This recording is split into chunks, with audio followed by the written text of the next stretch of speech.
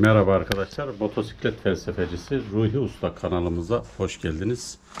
Arkadaşlar bugünkü konumuz PCX'lerde sökülmeyen vidalar, civatalar, işte muayeneden geçmiyor lastiklerden dolayı. Bunlarla alakalı bir çalışma yapıyoruz. Motorumuzun ön arka lastiğini değiştireceğiz. Lastikler şu şekilde olduğu zaman TÜV TÜRK'te muayeneden geçmiyor. Bilginiz olsun. Fakat motor korozyondan dolayı vidalar, civatalar şu şekilde paslanmış. Bayağı zorlandık. Evet şimdi diğer vidaları çıkaracağız. Şimdi arkadaşlar bu motorlarda arka lastiği sökmek için bir takım yollar izlenmesi gerekiyor. Kafadan egzoz sökülmesi gerekiyor. Egzozu sökmek için de egzozun vida civataları sökülüyor. Ee, Artı şu braketimiz var. Alüminyum braket. Bu değişecek. Bunu da sökmek için önceden hidrolikle yumuşatıyoruz. Şu diğer taraf bayağı bir zorlandı. Şimdi bakacağız burada nasıl bir zorluklarla karşılaşacağız. Onu da göstereceğim. Arka frenimiz tam tutmuyor. Tutmadığı için Türk Türk muayeneden geçmedi arkadaşlar. Buna da ne yaptık? İki tane şu şekilde arkadaş lastik almış. Onları takacağız. Ee, 90 90 14 yüzde 90 14 yüzde 90 14 arka 90 90 14'te öne takılıyor arkadaşlar. Şimdi bu ön arka lastiği değiştireceğiz hep beraber. Lastiğimiz diyecek ona bakacağız. Bir yol ver hocam diğer motorumuz bir çıksın. Sen motoru getir içeri veya Süleyman bir test et. Bir varyatör falan sökelim diğerinden. Şimdi makine değiştiriyoruz. Niye makine değiştiriyoruz? Bir tık daha şeyini alıyoruz. Şimdi burada şurada bir 14'ümüz var. Bu çıktı. Diğer tarafta Abi de şey direksiyon ya. Bak şu an bir de şurada motor- var. Tam ortada şu an. Şurada rahat çıktı. Sıkıntı yok. Bir de şurada bir 12'lik civatamız var. Amortisörüm. Bu da çıktı. Şu? Bunun haricinde 20 metre sökülü arka somunumuz var. Bu arka somunu sökmeden önce şöyle bir yumuşattık. Evet, bu sökülmedi mesela. Ne yapacağız? Makinenin yumuşasını getireceğiz. Sen oralarda motoru göster.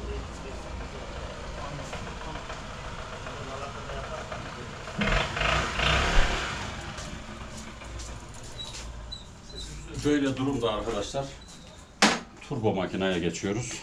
Turbo makinede da şöyle bir özellik var. 1, 2, 3. Üçüncü kademe eğer sökmezse farklı sistemi uygulayacağız. Turbo kademede dengeyi tam veriyoruz. Direkt söktü arkadaşlar. Şimdi burada şöyle bir sesimiz var. Bu sesin nedeninin içini size göstereceğim arkadaşlar. Şimdi motorun şanzımanından olabilir. Buradaki rulman dağılmış olabilir. Varyatörden gelebilir. Evet, sesimiz bu arkadaşlar. Yani motorda lastiğin dışında böyle de bir sesimiz var. Buna da bakacağız. Acaba bir yerde hata mı var, yanlış mı takılma var onu da göstereceğim. Kısa bir ara verelim. Evet arkadaşlar şimdi motorumuzda şu şekilde bir ses var. Bu sesi göstereceğiz. Bakalım bu neden kaynaklanıyor. Hep beraber bakalım. Burada bir sıkıntı görünmüyor. Şuraya bir şeyler dolanmış şöyle. Bir şey gibi. Buna bakıyoruz. Şimdi jantımızı buradan alacağız. Şu ses. Şanzıman mı bozuk, varyatör mü diye düşünüyoruz ama yani şanzımandan da olabiliyor, varyatörden de olabiliyor. O şanzımandansa niye şanzımandan olduğunu nasıl öğreniriz? Şanzıman yağını değiştirerek öğreniriz. Şanzıman yağını boşalttığımız zaman eğer yağda herhangi bir sıkıntı çıkarsa ilki şanzımanda bir sıkıntı var. Onun için işte ben diyorum ya işte arada bir her 9 günde yani iki bakımda bir şanzıman yağına bakın diye. Mesela bak bunun şuradaki hortum yerine takılmamış. Bu yerine takılmadığı için buradan şanzımanın içine su giriyor. Bunun normalde filtrede şöyle yeri var bak. Çok önemli. Buradaki yeri var. Buradan su girme durumu var. Şanzıman yağını şu an boşaltıp bakacağım. Siz de göreceksiniz. Şanzıman yağı bozuk çıkarsa şanzıman yağı bozuk çıkarsa bil ki şanzımanın içinde bir sıkıntı var demektir. Şanzıman yağının bozuk çıkıp çıkmadığını anlamak için de anlamak için de şöyle 12 ile şanzımanın şuradan şurada seviye ayarı var. Seviye ayarı. Önce seviye vidasını alıyoruz. Fazla yağ olur, bir şey olur. Yağsı çok düzgün olur. Buradan görürüz. Şu seviye vidasını aldığımız zaman içindeki yağı görürüz. Evet yağa bakıyoruz. Yeni konmuş yağsı. Ama fazla yağ var. Bak, yağ gayet temiz duruyor.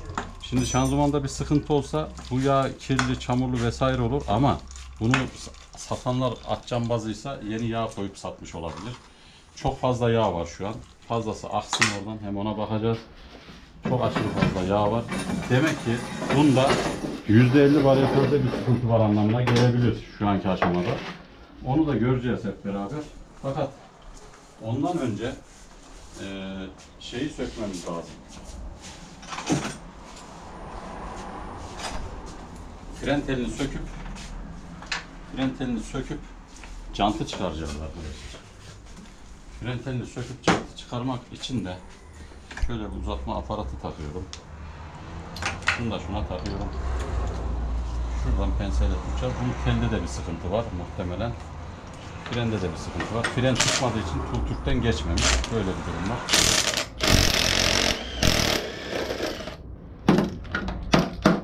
Burayı da şu şekilde boşalttık. Yayını aldık. Civatasını aldık. Hidroliğimizi şuraya koyduk. Şimdi burada şöyle bir bakıyoruz. Evet, frende bir sıkıntı var. Fakat şuradan da tele bakma durumumuz var. Tel kısmen idare eder. Fren teli değiştirmek öyle bir meşakkatli ki bildiğiniz gibi değil. Şimdi buradan seviyeye kadar boşalttık.